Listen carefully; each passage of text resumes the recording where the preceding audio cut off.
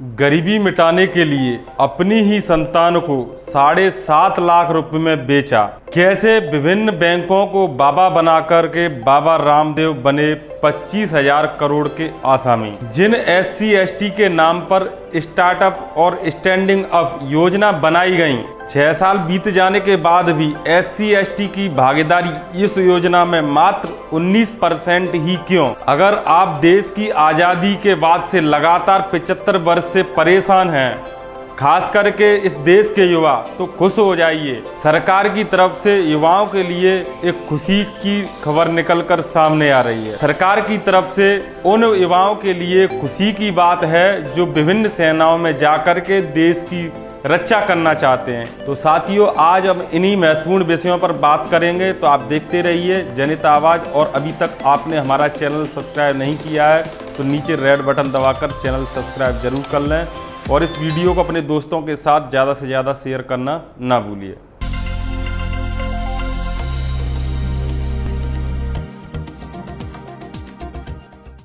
नमस्कार साथियों, मैं ब्रजमोहन और आप देख रहे हैं जनता आवाज़। साथियों, आज एक से बढ़कर एक नई नई खबरें निकलकर सामने आ रही हैं, जो एकदम आपको चौंका देंगी और झकझोर के रख देंगी। जी हाँ साथियों दिल्ली से एक ऐसी खबर निकलकर सामने आई है जिसमें खुद ही के माता पिता ने गरीबी मिटाने के लिए साढ़े सात लाख रुपए में अपने ही गोद के बच्चे को बेच दिया। और वो भी सिर्फ़ इस खातिर कि गरीबी मिट जाए।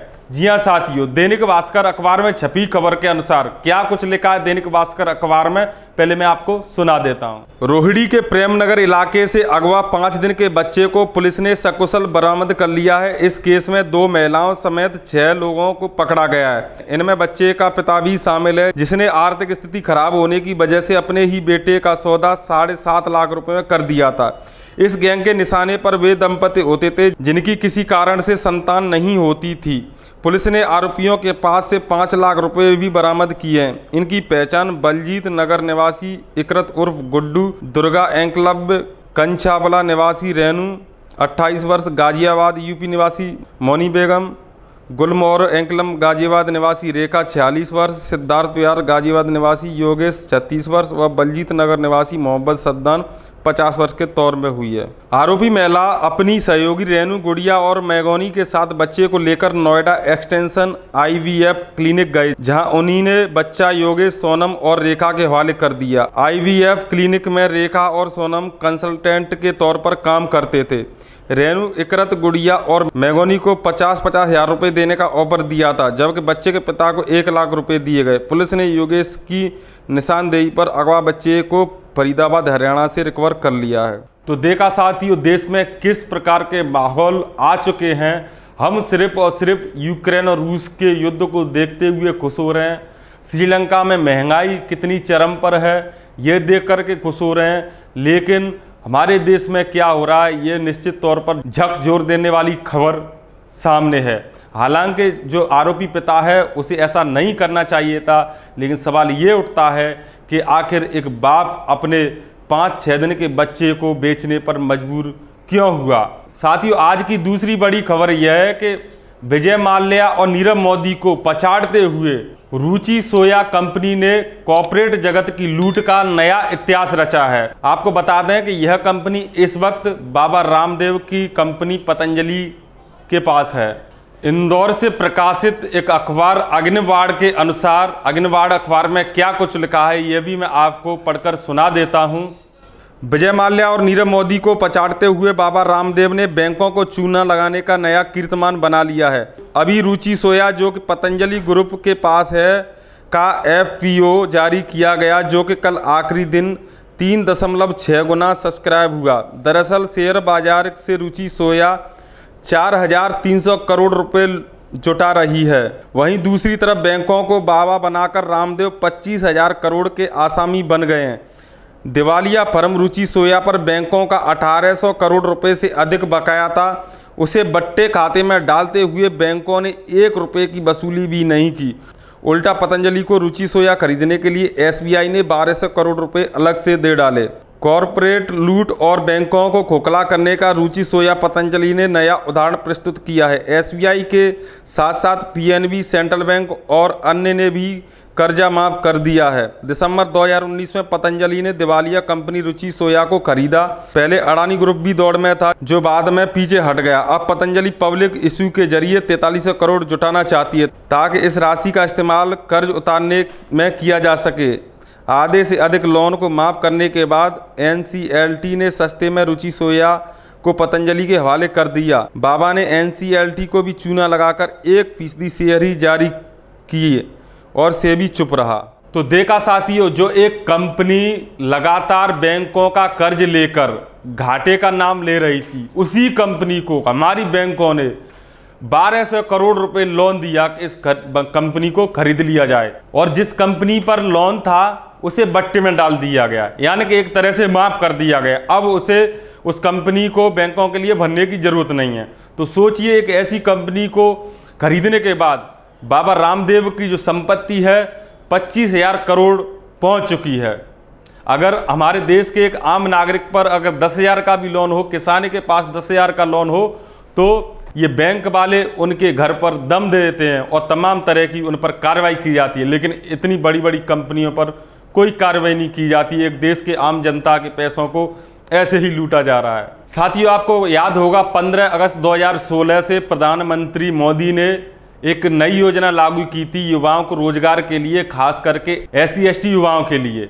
आपको याद होगा 15 अगस्त 2016 को प्रधानमंत्री नरेंद्र मोदी जी ने इस योजना को लागू करते हुए क्या कुछ कहा? पहले आप ये खबर देखिए, सब कुछ समझ में आ जाएगा। स्टैंड अप योजना को लागू हुए 5 अप्रैल 2022 को छः साल हो गए हैं। प्रधानमंत्री नरेंद्र मोदी ने बहुत धूमधाम से 2015 में आज़ादी के दिन लाल किले से इस योजना की घोषणा की थी। घोषणा के नौ महीने बाद इसे लागू कर दिया गया। इस योजना के सार तत्व की चर्चा करते हुए नरेंद्र मोदी ने कहा था स्टार्टअप इंडिया और स्टैंड अप इंडिया भारत का भविष्य बनेंगे। इस साल हम डॉक्टर बाबा साहब अंबेडकर जी की 125वीं सालगिरह मना रहे हैं। देश में बैंकों के सवा लाख ब्रांच हैं। इस योजना के तहत हर ब्रांच को ये प्रण करना है कि भाई हर साल आदिवासी या दलित को अपना काम शुरू करने के लिए लोन देंगे। इससे हर साल सवा लाख दलित आदिवासी उद्यमी बनेंगे। इसके अलावा हमें ये भी देखना होगा कि क्या ये सवा लाख ब्रांच महिला उद्यमियों के लिए भी ऐसी योजना बना सकते हैं। साथ ही आपको बता दूँ, ये जो खबर बता रहा हूँ, ये कोई मेरी मनगढ़ंत कहानी नहीं है। द प्रिंट पे लिखा है वरिष्ठ पत्रकार दिलीप मंडल जी ने। और आगे क्या लिखा है इस योजना के बारे में दिलीप मंडल जी ने, वह भी आप जान लीजिए पहले।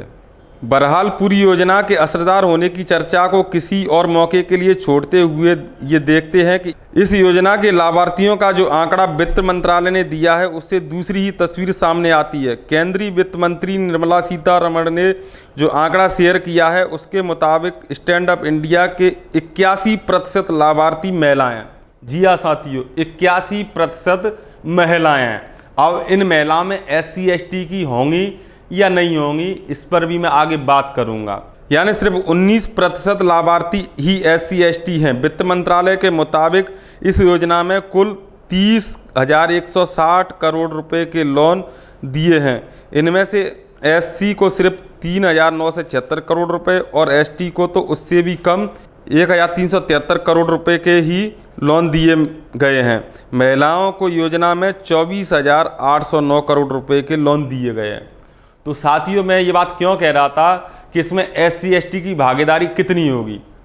क्योंकि आप इस बात का ही अंदाज़ा लगा लीजिए कि जब पुरुषों की संख्या पूरी योजना में मात्र 19 प्रतिशत है एस सी के पुरुषों की तो एस सी की महिलाओं को इसके बारे में कितनी जानकारी होगी? सरकार ने क्या प्रयास किए होंगे? ये आपके सामने है। इसके अलावा एक और महत्वपूर्ण खबर जो आज की सबसे बड़ी खबर मान सकते हैं जो युवा सेना में जाने का ख्वाब देख रहे थे, जो सोचते हैं, सपने बनाए रखे हैं, उनके लिए सरकार के अनुसार सुनहरा मौका है।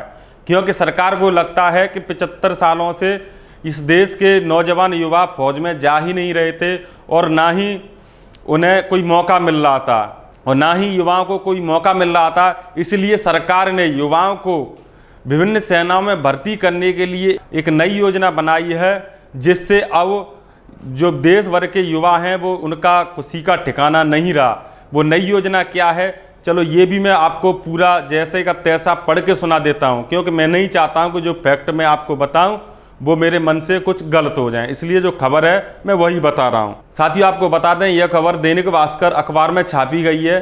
क्या लिखा है इस खबर में? मैं आपको बता देता हूँ। सेना में संविदा, तीन साल के लिए युवाओं की भर्ती होगी। जी हाँ साथियों। सेना में भर्ती होने की ख्वाहिश रखने वाले युवाओं के लिए अच्छी खबर है। सरकार अग्निपथ भर्ती प्रवेश योजना लागू करने जा रही है। इसके तहत तीनों सेनाओं में युवाओं को तीन साल के लिए सैनिक के रूप में भर्ती करेंगे। इन्हें अग्निवीर कहा जाएगा। इससे सशस्त्र बलों की औसत उम्र में कम आएगी। रिटायरमेंट और पेंशन के रूप में सरकार पर बोझ नहीं पड़ेगा। युवाओं के लिए सुनहरा मौका इसलिए है क्योंकि रक्षा बलों के पास यह विकल्प भी रहेगा कि वे कुछ अग्निवीरों को स्थायी सेवा में शामिल कर सकते हैं। ये अग्निवीर बाद में कॉरपोरेट में भी नौकरी कर सकेंगे। सख्त ट्रेनिंग के बाद कश्मीर व पूर्वोत्तर में तैनात किए जाएँगे। तो देखा साथियों, कितनी खुशी की बात है। हमारे देश के युवाओं के लिए, जो युवा सेनाओं में जाने का सपना सजाए हुए थे, उनके लिए सरकार ने ऑफ़र कर दिया है। सरकार ने ऑफ़र दिया है, अब देश की सेना में भी संविदा पर नियुक्ति होगी। जो होनार होंगे, जो अपने तीन साल के कार्यकाल में अच्छा रिज़ल्ट देंगे, उन्हें परमानेंट भी किया जा सकेगा। साथियों, कहीं ऐसा तो नहीं है कि जो सेना में अभी खुली प्रतियोगिता के माध्यम से एक गरीब परिवार के युवा भी सेना में आसानी से जा सकते थे। ये सरकार, जनविरोधी सरकार, कोई षड्यंत्र तो नहीं कर रही है कि जो सेना में तीन साल पर संविदा रखेंगे, फिर उनका नेम और सरनेम देखकर उन्हीं में से परमानेंट किया जाएगा। जिस प्रकार से पिछले कुछ वर्षों से इस सरकार द्वारा चुनिंदा आईएएस लेवल के पद एक विशेष जाति के विशेष लोगों को दे दिया जा रहा है। कहीं सरकार की मंशा यह तो नहीं है। इस खबर को ट्विटर पर पोस्ट करते हुए वरिष्ठ पत्रकार दिलीप मंडल लिखते हैं कि, मैंने पहले ही कहा था कि ठाकुरों को गर्व था कि बाकी जगहों पर वे कहीं उच्च पदों पर नहीं हैं, लेकिन सेना में अच्छी संख्या है। मैंने कहा था कि पूरी दुनिया में फौज की संख्या घट रही है, टेक्नोलॉजी है, हज़ारों मील दूर बैठकर ड्रोन से हमला हो रहे हैं। भारी वाला अब किसी काम का नहीं रहा। तो साथियों ये थी आज की दिन भर की महत्वपूर्ण खबरें। किस तरह से एक पिता ने अपने पाँच छः दिन के बच्चों को केवल गरीबी मिटाने के नाम पर एक गिरोह को बेच दिया। वहीं आज की दूसरी बड़ी खबर यह रही थी कि पतंजलि के मुखिया किस तरह से पच्चीस हज़ार करोड़ के आसामी बन गए हैं। वहीं तीसरी सबसे बड़ी खबर यह थी कि स्टार्टअप इंडिया और, और स्टैंड अप इंडिया जो कि एस सी के नाम पर बनाई गई। उन्हीं के युवाओं को इसमें मात्र 19 परसेंट ही भागीदारी मिली। और ये खबर तो मैंने अभी बताई है कि सेना में किस तरह से अब संविदा सिस्टम लागू कर दिया गया है। ये देश के युवाओं के साथ एक तरह से खिलवाड़ है, क्योंकि अभी तक जिस प्रकार से युवा सीधी भर्ती के माध्यम से कंपटीशन करके भाग दौड़ करके स्थायी नौकरी पा सकते थे, कहीं ना कहीं संविदा पर रखने के बाद में कोई खास सरनेम या कुछ खास योग्यता या कुछ पूर्वजों की योग्यता देखकर सरकार की इन सेनाओं में भर्ती करने की आशंका है। तो साथियों, आप इन सभी खबरों पर क्या सोचते हैं, क्या राय रखते हैं, अपना सुझाव कमेंट में ज़रूर दें। अगर मेरे से आपको कोई सवाल हैं तो वो सवाल भी मुझे कमेंट बॉक्स में पूछ सकते हैं और इस वीडियो को अपने दोस्तों के साथ ज़्यादा से ज़्यादा शेयर करना ना भूलें। चैनल अभी तक सब्सक्राइब नहीं किया तो रेड बटन दबाकर चैनल को सब्सक्राइब ज़रूर कर लें। अभी के लिए इस वीडियो में सिर्फ़ इतना ही। नमस्कार।